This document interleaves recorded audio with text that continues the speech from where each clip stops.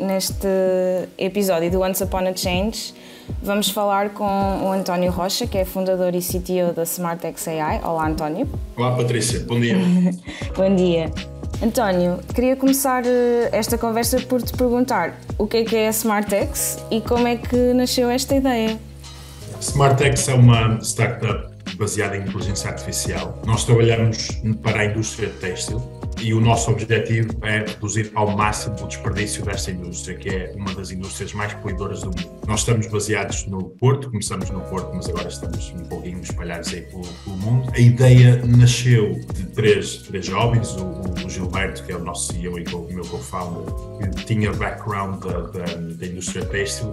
Nós somos aqui do, do, do norte de Portugal, da região do Porto e de Praga, por nós termos esse, ter, por, neste caso, ter tido esse contacto, verificou que havia um problema de desperdício devido à falta de qualidade dos materiais, ou seja, quando os defeitos são, são, são produzidos na, na indústria têxtil, Muitas das vezes eles são propagados ao longo da indústria, chegando até à fase final, que é a fase do, do retalho. Nós, já nos aconteceu às vezes até comprarmos alguma roupa com defeitos que seriam facilmente detectáveis por, por algum sistema de inteligência artificial. Dessa forma, quando nós estávamos na faculdade, começamos a trabalhar nesta, nesta ideia de usar machine learning para detectar estes tipos de defeitos o mais cedo possível na, na cadeia, não só detectar, mas evitar que eles, que eles aconteçam e que dessa forma depois se propaguem para o resto da indústria. Hoje, como disse, estamos baseados em vários, em vários países, temos vendas um pouco por, por, todo, por todo o mundo, temos uma, uma equipa excelente, mais de 100 pessoas que, que acredita nesta, nesta missão.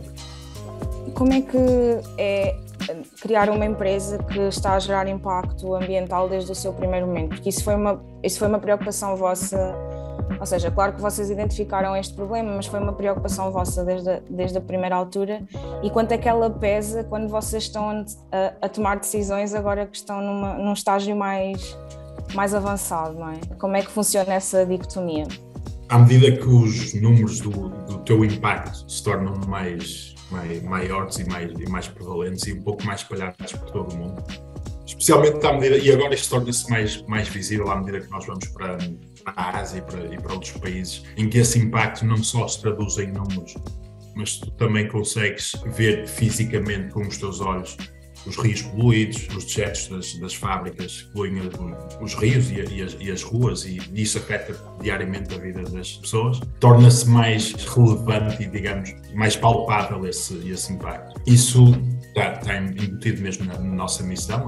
Nós queremos é ter empower factories to produce sustainably and transparently e dessa forma está tá muito no nosso, no nosso dia a dia. Acho que, e isso é algo que nós tentamos fazer desde a concepção da, da, da empresa, achamos que esse impacto não pode é ser desacoplado de um impacto também financeiro para as, para as empresas. O melhor dos dois mundos acontece quando nós conseguimos trazer impacto financeiro e melhorias digamos, económicas para os, nossos, para os nossos clientes e também, da mesma forma, ter um impacto ambiental. Quando conseguimos casar esses, esses dois mundos, temos, temos uma maior probabilidade de conseguir alcançar o, o objetivo e deixar o mundo um bocadinho melhor do que aquilo que encontramos para, para as gerações que vierem aí. Encontras alguma resistência, às vezes, por parte de outros stakeholders dentro ou fora da vossa organização e que conselho é que tu darias a um empreendedor que está, que está a começar uma startup assim de impacto e que veja alguma dificuldade em ver, em ver eh, os seus planos uh, avançar? Porque as pessoas acham que pronto, é mais. Não, não vai ter um impacto financeiro tão forte. Isso, isso é o prato do dia, digamos assim.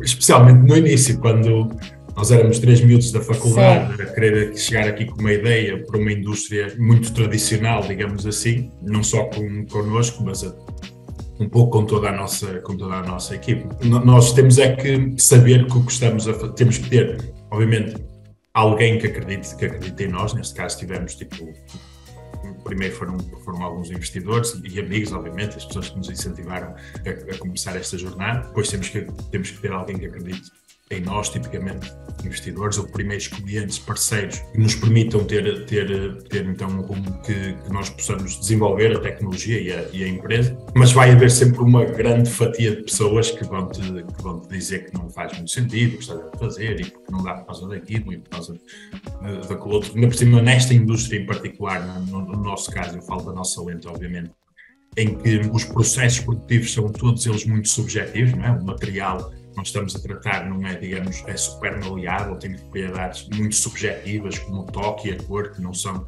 tão, tão fáceis de avaliar quantitativamente. Ou seja, os processos de automatização em algo que é tão subjetivo são mais difíceis. Então, isso torna a barreira para a adoção de tecnologia seja maior e, sua vez, então, as pessoas tenham mais ceticismo a essa adoção de tecnologia. O que eu digo é que nós temos que, então, rodear-nos dessas pessoas que nos, têm, que nos, que nos influenciam positivamente, que acreditam em nós e, mais acima de tudo, acreditarmos em nós mesmos. Se nós tivermos fé, isto é assim um pouco um pouco o que toda a gente diz, mas é mesmo verdade. Se nós, se nós tivermos fé, fé no que estamos a fazer e tivermos confiança técnica, mas pouco mais do que só técnica, também um pouco emocional e, de, e até espiritual, de certa forma, o que nós queremos fazer vai, vai ter sucesso, então nós conseguimos levar assim um bocadinho tudo à frente. Então, e relativamente a planos para o futuro, podes desvendar alguma coisa do que vem aí para o futuro da, da Smartex nos próximos meses? Sim, bom, nós nos, nos próximos meses estamos muito focados em, em duas coisas, em expandir o, o, nosso negócio, principalmente para, para a Ásia, e a fazer com que as nossas operações sejam, sejam o mais smooth possível nesse, nesse sentido, ou seja, essa expansão e crescimento é um pouco fundamental para nós nesta, nesta fase. E depois vamos ter um evento que é, nós, nós chamamos internamente os Olímpicos da, da indústria da moda e têxtil, digamos, da, da maquinaria têxtil, que é, que é o, o setor em que nós ainda estamos, e tecnologia para este setor que é uma feira, uma conferência Milão, mundial. Nós dizemos que é os Olímpicos, porque acontecem só de 4 em 4 anos, e dá assim um bocadinho do, do, do pace, digamos, da adoção de tecnologia aqui da, da indústria. As inovações são de 4 em 4 anos. E nós vamos ter algumas, algumas novidades a apresentar lá em termos de, de, de produto, e então estamos, estamos aí todos muito focados nesse objetivo, que será em junho deste ano, e depois, ao longo desse, desse processo também deste, deste ano, expandimos o nosso negócio o mais possível para a Ásia, onde estamos a ter uma elevada atração e uma elevada demanda do mercado no final do ano passado ganhaste o prémio de mérito da, da Bantuman, não foi? Um, e que é, que é, um prémio também promovido pela, pela Bantuman e pela Startup Portugal um, e, que, e que tem como objetivo não é, promover e dar palco a, a empreendedores afrodescendentes. Um, o que é que tu achas que falta fazer aqui na comunidade empreendedora para darmos mais palco a esta comunidade? Isso, isso foi um momento assim um pouco, digamos, especial, mas uhum. o, porque não, não estava à espera, mas o, o, que, o que eu acho é que nós, como. E, eu acho que isso é transversal a, a todo. A, a não só a qualquer tipo de comunidade ou qualquer tipo uhum. de pessoas. A representatividade é muito importante e nós sentimos isso tipo mesmo na, na, na Smartex. Eu acho que é, é, importante saber que pessoas como, como nós, com um background semelhante ao nosso, são capazes de fazer aquilo que, que lhes apetece, ou seja, sejam eh, essas pessoas quererem ser empreendedoras, músicas, desportistas, atletas, seja, seja artistas, seja, seja o que for. Então, nesse sentido, a representatividade eu acho que é muito importante. Foi importante para nós saber que havia empreendedores da nossa idade, da nossa região, das nossas cidades também, a ter algum sucesso dentro do, do ecossistema aqui mais do, do Porto, etc., das nossas faculdades, pessoal da nossa idade que já tinha algumas, algumas startups e que nós nos podemos inspirar e conversar com eles. Então achamos que a representatividade é muito importante saber que nós podemos ter alguém como nós em que aspiramos ser, acho que é, que é super relevante acho que falta aproximar, digamos, essas pessoas que nós, que nós queremos representar na, na, na, comunidade à própria comunidade. Acho que falta e fazer isso de uma forma o mais cedo possível, para as pessoas terem menos barreiras psicológicas ou até mentais ou uhum. sociais àquilo que, que, queiram fazer, àquilo que, que, que sejam os seus sonhos para, para alcançarem mais tarde. Ok, António, olha, acho que nos estamos a aproximar do, do final da nossa conversa. Queria só uh, fazer-te assim uma pergunta da praxe desta, desta rúbrica que é conselho é que tu dás aos nossos empreendedores de impacto para construírem os seus projetos de, de futuro e se quiseres deixar uma mensagem final. O primeiro é que tentem que a energia de, de, do, vosso, do vosso trabalho venha de vocês mesmos e que, e que, se, e que se inspirem nos resultados que, que, o vosso impacto traz. Mudar a vida de uma pessoa, de mudar ativamente mesmo que seja só um bocadinho da nossa comunidade, já tem um impacto super positivo.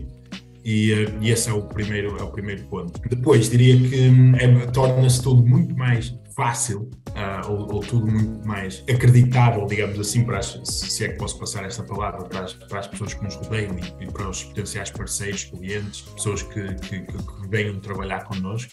Se nós conseguirmos de alguma forma aliar e isto nem sempre é fácil e nem sempre é muito possível. Aliar o impacto social, ambiental e cultural que nós estamos a tomar com um ponto de vista também financeiro e económico. Se nós conseguirmos aliar esses dois mundos e dar, darmos da mesma primazia ao impacto cultural, social, ambiental que nós estamos a tomar, então torna-se muito mais fácil fazer este pitch para clientes, para parceiros, para, para pessoas que vêm trabalhar connosco e dessa forma a nossa vida fica mais simples a entregar esse impacto, digamos assim. E acho que são essas as principais mensagens que eu, que eu, que eu deixaria. Obrigada, António. Olha, uh, desejamos os melhores sucessos para a Smartex AI e para ti e ficamos na expectativa de vos ver agora aí no futuro. Obrigado, Patrícia. Obrigada, obrigada, António.